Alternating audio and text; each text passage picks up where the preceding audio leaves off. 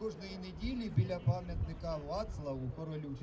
Я розповідав, що ми в Харкові збираємося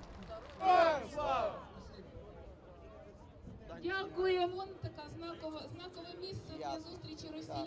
A lot of people were, you know, brainwashed with propaganda. Beaucoup de gens ont eu le cerveau lavé par la propagande et parfois ils refusent d'écouter autre chose et de regarder la vérité en face.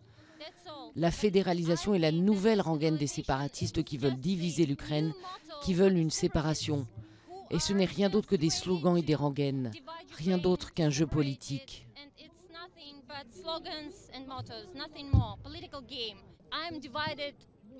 Je suis coupée en deux parce que la moitié de ma famille en Crimée est heureuse que les Russes soient arrivés. C'est ce qu'ils voulaient. C'est ma mère, ma sœur. Et pour l'autre moitié de ma famille, c'est une tragédie parce qu'ils ne voient aucun avenir pour leurs enfants. Alors aujourd'hui, je ne parle plus à ma mère, mais je parle à l'autre partie de ma famille.